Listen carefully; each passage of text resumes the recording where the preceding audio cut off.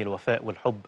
قام أهالي قرية القواسم التابعة لمحافظة كفر الشيخ بعمل زفة لتكريم معوض عباس مدير مدرسة القواسم للتعليم الأساسي لبلوغه السن القانونية للمعاش؟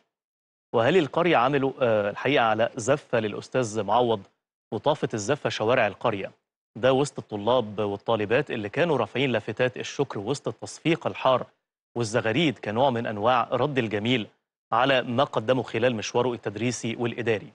وتكريما ليه أيضا على جهده خلال الأعوام اللي فاتت في إدارة المدرسة.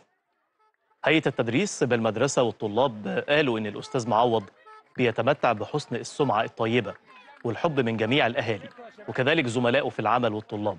أيضا مشهود ليه بالكفاءة والجدية والامتياز وعبروا عن حزنهم الشديد لبلوغه السن القانونية للمعاش وتمنوا ليه دوام التوفيق والصحة والعافية في حياته المقبلة.